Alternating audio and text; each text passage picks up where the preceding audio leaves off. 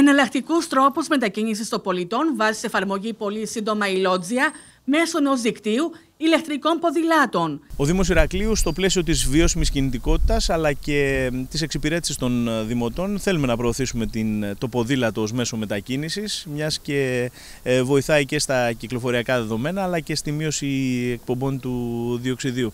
Αναπτύσσει λοιπόν ένα δίκτυο ποδηλάτων, ε, χρηματοδοτούμενο έργο από δύο διαφορετικά προγράμματα. Περίπου 85 ποδήλατα θα τοποθετηθούν.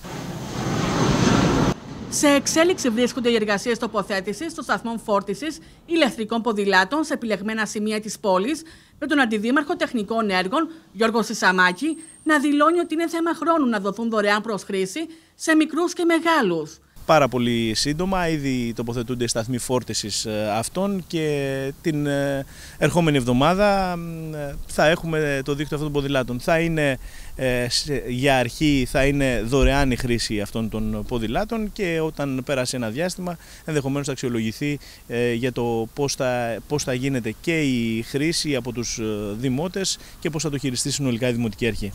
Μέσω προγραμμάτων η Λότζη αναπτύσσει ένα δίκτυο ποδηλάτων προσφέροντας βιώσιμους τρόπους μετακίνησης και σε μια προσπάθεια μείωσης του περιβαλλοντικού αποτυπώματος από την κυκλοφορία των αυτοκινήτων. Ήδη έχουμε στην πλατεία Ελευθερίας, έχουμε στην Αλκαρνασό, έχουμε στο Κομμένο Μπεντένι, έχουμε στην πλατεία Κορνάρου, ε, σε αρκετά, αρκετά σημεία της πόλης. Περίπου 10 ανασημείο είναι 10 ποδήλατα ανασυστοιχεία. Έτσι αναπτύσσεται ένα δίκτυο που διευκολύνει, είπαμε, και την κυκλοφορία αλλά και μειώνει αρκετά, έχει την περιβαλλοντική του διάσταση.